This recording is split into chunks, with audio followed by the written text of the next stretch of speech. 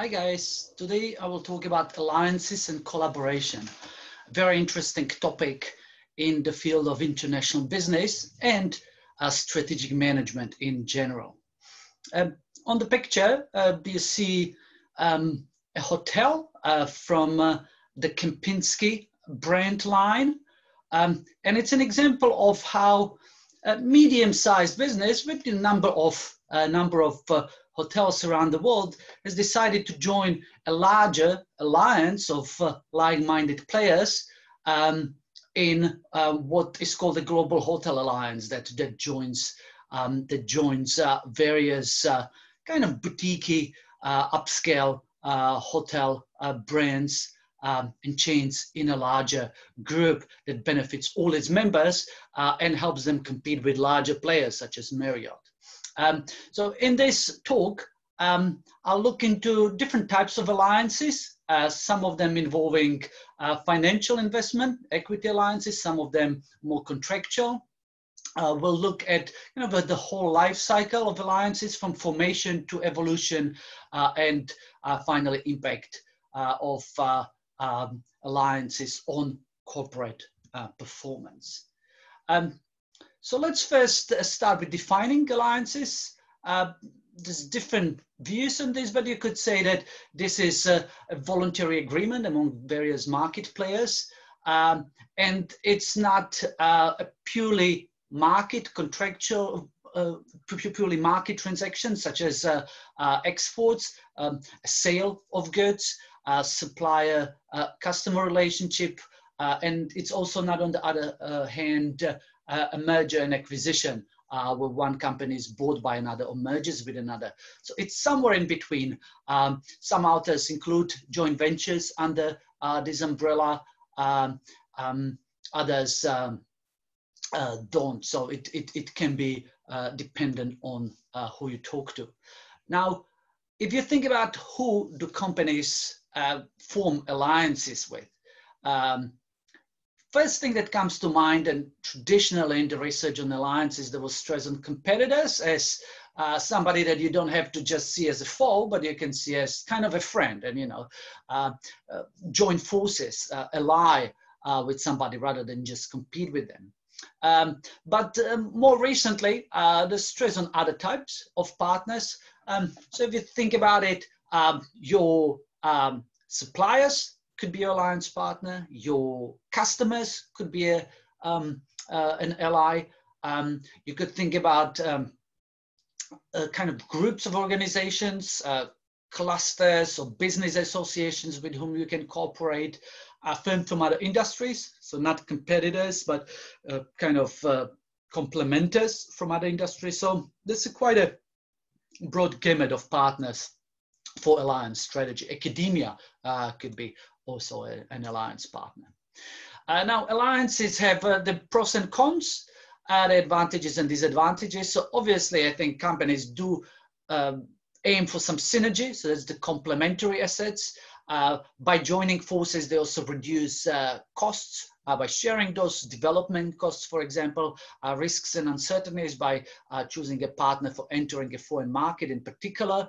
Um, an opportunity to learn. So that links to complementary assets, but also kind of a more dynamic perspective on not just uh, accessing the assets, but, but continued learning. Um, and that time perspective links to the possibility to use alliances as real options, meaning they, uh, they give you an option to, um, to um, up your investment and say after entering a country with a joint venture uh, you get to know the partner get to know the market and uh, this gives you an option to say acquire the partner or, or um, increase your investment in the country on the other hand, there's this potential risks, uh, as in um, most business situations, you can choose a wrong partner. Uh, it could be quite clumsy in terms of coordinating the relationship, even getting to the deal. The negotiation is costly. Uh, there's potential for partner opportunism, um, uh, means cheating uh, by partners or just not really sticking to the agreement. Uh, and you know the opposite of learning from partners is partner learning from you uh, too much and perhaps becoming a competitor. Um, an example of uh, kind of an alliance going sour is the French food producer Danone um, that um, uh, had a number of joint ventures with a Chinese company, Wahaha. Um, and uh, it was initially quite successful, perceived to be successful, but later the, the partners got into uh, into quarrels uh, about some of the uh, potentially uh, financial issues being uh, camouflaged by Wahaha. On the other hand, the Chinese partner was accusing Danone of not committing enough to the venture. Um, uh, or to the joint ventures. And uh, eventually the companies ended up in a lawsuit, kind of a divorce. and uh, that was dragging for years and years, uh, even six years after the, um, uh, the initial disagreement. Uh, um, Danone was quoting this as one of major headaches for them in the international operations. Um, so these were equity joint ventures where, uh, say, Danone invested particular share in, in particular legal entities that, that uh, uh, operated uh, um, under kind of uh, um, investment of both of the partners. Uh, but some of the alliances do involve just a contract, so they don't involve having a legal entity with say 50 50% uh, share of ownership or i don't know 30 70% uh, share of ownership. So quite a lot of uh, alliances uh, are contractual. Uh, it could be co-marketing r&d contracts turnkey projects uh, licensing franchising strategic supply agreements. Um, and the equity ones are not just joint ventures, but for example, could be strategic investment. Uh, Singapore Airlines, for example, had a stake in uh, Air New Zealand. Um, cross shareholding, sometimes it's not just one company having a stake in the other, but uh, the other way around as well. Uh, so cross uh, shareholding, um, quite common in the in the airline industry as well. Um, so these are kind of the two options, and they are a compromise between market transaction and mergers and acquisition. In terms of partner selection, as I think there's two factors uh, companies need to consider. It's partner competence and partner comfort. Uh, obviously, you're looking for a partner that's uh, both competent and with which you uh, have a good comfort. This seems obvious, but uh, you know, as uh, in life, if I would be thinking, say, about my daughter choosing her partner, uh, you could find a partner that really has a lot of resources, a lot of competence, really, uh, you know, solid competence as a partner, but you have really poor comfort. So while it is uh, kind of a no-brainer that you're looking for a partner that is really competent and with whom you can work uh, well in terms of relationship, uh, you can't always get both of those things, and that results in unstable, um, unstable uh, alliances. But over time, I think both partner competence and comfort can increase. So you can, you know, learn to become more comfortable with each other, uh, and also competence of the partner can uh, can improve. The overall result of a successful partnership or alliance is, is good performance. So there's a number of issues, uh, equity kind of, you know, investment, but also how equitable um, uh, the split between, um, between the alliance partners uh, is. That affects performance, uh, nationality, whether there's any cultural clashes, um, um, in between the partners, uh, relational capabilities, how you handle the differences and problems, and then how much you can learn and how you manage that learning process and experience. Sometimes the experience is also what you had before. So companies with a lot of uh, a lot of previous experience in alliances are better at uh, managing them in the future.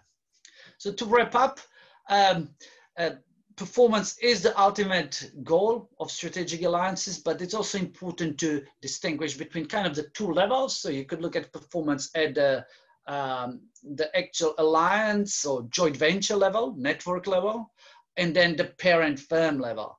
Um, and uh, you need to be aware of the fact that uh, uh, you know there's not just objective kind of hard number uh, based uh, measures of performance, but also subjective ones, such as uh, top management satisfaction uh, in uh, the joint venture. Or if there's a, a goal that's non-financial, it's, it's, more strategic, what's the assessment of that goal? But obviously objective uh, measures of performance, such as financial performance, innovation performance, um, market share, um, and say for the parent firm stock market uh, performance and reaction um, would be quite important. As for the alliance level, you could also look at you know the stability, longevity, which might not be something that parent firm might necessarily think it's that important as long as as the joint venture or alliance contributes to the strategic goal. Um, quite often, uh, these are not meant to be forever, so they're not necessarily marriages. Uh, it's not like a merger where uh, you really invested everything into, into pulling forces together. This could be often uh, somewhat temporary uh, agreements or even, you know, the equity ones joint ventures could, could be meant to be there for a certain time. So the, the longevity is not necessarily always the, the right measure of performance, uh, at least not from the parent firm level. Um, so if you're interested in learning more about these topics, uh, uh, they are covered uh, in more depth uh, for free in my international business and global strategy uh, textbook available on bookboon.com. Um, there's uh, some good coverage of, of these topics in the global strategy text published on tophat.com. Um, and there's really good chapter on um, on uh, alliances and uh, and joint ventures and, related strategic issues in the context of Asia Pacific and the Cambridge University press text uh, uh contemporary international business in the Asia Pacific region uh, that I co-authored. Um, so I hope you enjoyed this talk and uh, um, you can also check out my other videos. Thank you.